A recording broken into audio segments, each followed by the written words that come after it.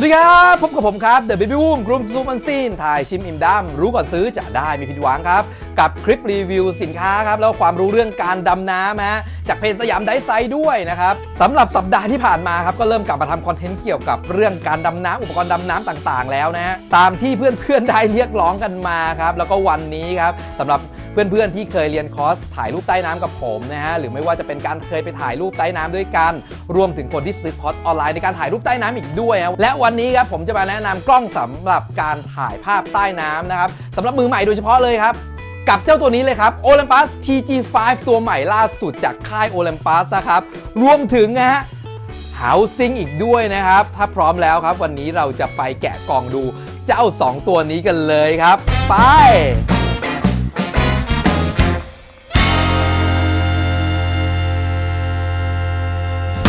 สำหรับวันนี้นะครับเราก็จะมาแกะกล่องกล้อง Olympus TG5 นะซึ่งจริงๆ แล้วตัวกล้อง Olympus TG5 เนี่ยก็คงมี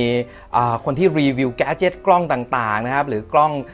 อคนที่รีวิวกล้องชื่อดังนะไม่ว่าจะเป็นพี่ฮาวหรือใครก็ตามครับน่าจะทำรีวิวกันไปหมดแล้วฮะแต่วันนี้เนี่ยผมจะมาแกะกล่องพร้อมกับ Housing นะครับของ Olympus นะฮะสำหรับการดำน้ำโดยตรงเลยนะครับ ผมคงไม่พูดอะไรมากมายกับกล้องตัวนี้นะเพราะว่าคงมีโปรหลาย ๆ ท่านเนี่ย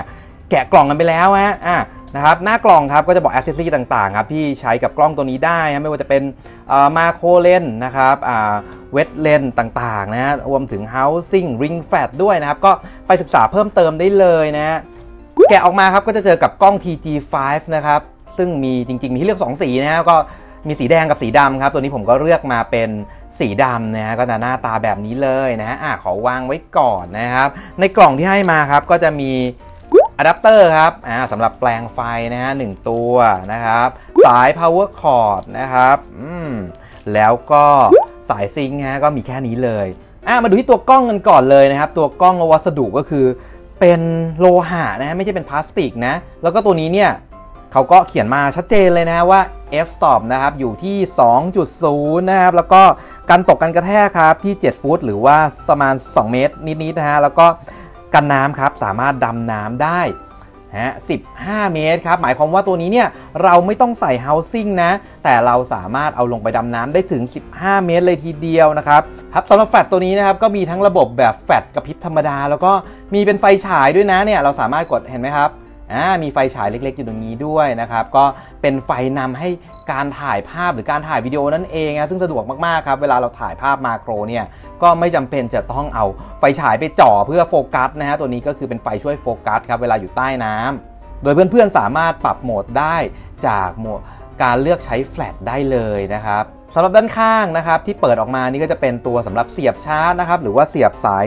ซิงค์ภาพต่างๆนะเข้า HDMI นะครับอ่าก็มีสามารถแสดงภาพผ่านระบบ HDMI ก็ได้นะฮะด้านล่างก็จะเป็นตัว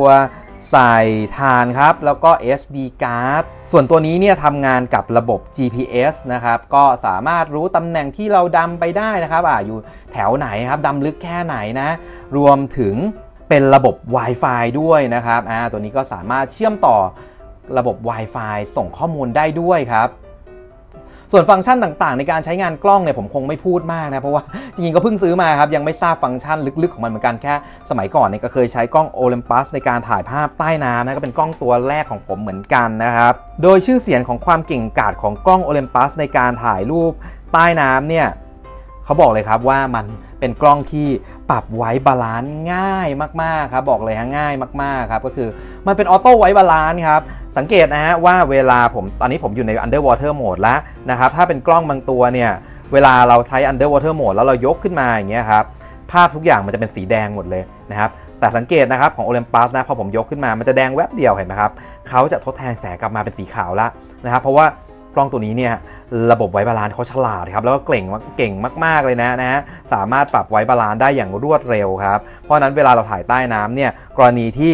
มีการเปลี่ยนต่างของแสงหรือเปลี่ยนความลึกเนี่ยเขาก็สามารถคำนวณให้เราได้อย่างแม่นยำครับ โดยที่ฝีมือในการถ่ายภาพฮะก็ไม่ต้องเก่งครับ แค่เรามีมือครับถือกล้องตัวนี้ลงไปฮะแล้วก็กดชัตเตอร์ไปรัวๆครับ ก็สามารถถ่ายภาพออกมาได้สวยเลยทีเดียว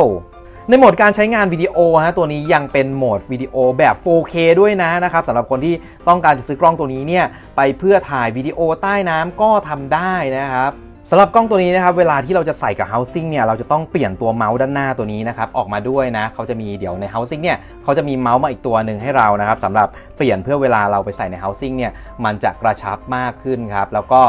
อะงั้นหลังจากนี้ครับผมไม่พูดถึงกล้องตัว TG5 ตัวนี้มากมายแล้วนะเราไปดู เจ้าตัว housing สำหรับใช้งานคู่กับกล้องตัวนี้กันก่อนเลยดีกว่าครับสำหรับ housing ของเจ้าตัว TG5 นะฮะก็เหมาะสำหรับคนดำน้ำสกูบ้านะครับหรือว่าดำน้ำลึกนะฮะต้องการจะดำลึกกว่า 15 เมตรครับตัวนี้เนี่ยสามารถทำให้เราถือกล้อง TG5 ตัวนี้นะครับลงไปใต้น้ำได้ ถึง 45 เมตรกันเลยทีเดียวนะฮะมาดูครับว่าในกล่องเนี่ยให้อะไรมาบ้างครับข้างในครับก็จะเป็นคู่มือนะครับอ่าซองขาวๆเนี่ยบางคนไม่รู้ว่าทำอะไรนะมันคือซองกันความชื้นนะครับสำหรับใส่ในกล้องนี่แหละบางคนแบบดำน้ำนะครับแล้วก็รู้สึกว่าทำไมกล้องของเราเนี่ยเวลาอยู่ใต้น้ำแล้วมันมี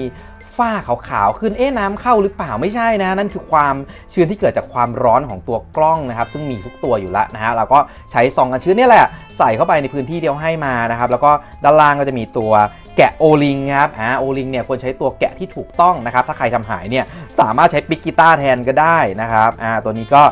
สำหรับแกะ O-ring กล้องนั่นเองนะครับ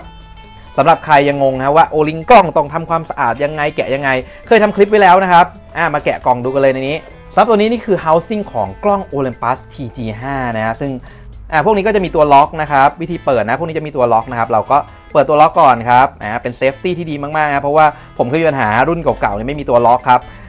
บิดไว้แล้วน้ำเข้าเลยฮะสำหรับด้านในนะครับที่เขาให้มานะก็จะมีตัวเชือกนะครับสำหรับคล้องกับ housing นะครับแล้วก็ซิลิโคนสำคัญมากนะครับสำหรับตาตัว grease ซิลิโคนอ่ามา